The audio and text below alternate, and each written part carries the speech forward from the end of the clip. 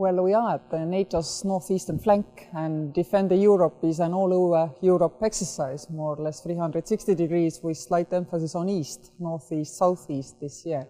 And obviously, uh, Estonia, well, wants also to be part of it. We are very proud that uh, despite still being in the coronavirus pandemics, at last this year, within our bubbles, we are able to show that we still can cooperate, which means we can still fight. Because last year we were very sad that uh, we were not able to demonstrate this kind of uh, operability, but now we are. And it's getting more and more important also thinking in the context of Zapad 21. So uh, to show what we can do is extremely important, and I believe also it's good for the confidence of our own army well, real soldiers in real exercise, on real field, in real interoperability situation, in the real need to find each other. And in this case also, of course, Estonian Voluntary Defense League is playing uh, the adversary.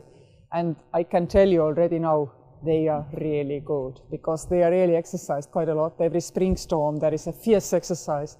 And being the enemy, this kind of somehow turns people on. So I think it will be a really, really useful also for US to see the military thinking of this corner of the world. Because otherwise, Article 5 is just a slogan. I mean, the NATO umbrella is not made up of silk, it's made up of capabilities, men, and exercising. And, uh, and that's why. Otherwise, you really cannot defend.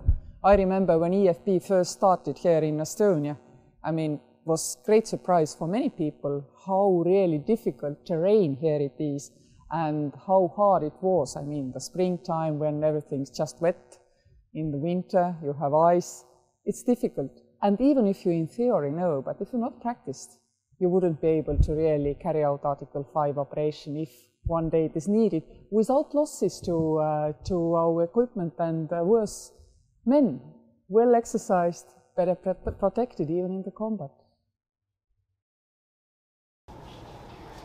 Why it's important? I think one thing what we see here, here today, that uh, the troops can exercise, but uh, in my opinion even more important is that we are exercising on uh, headquarter level.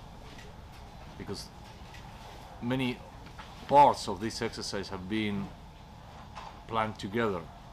And that's quite similar how we would plan the real defense in my country and that has trained uh, my officers in my headquarters a lot. And that's why it's I, I think it's it's very important for us. I think we get know each other.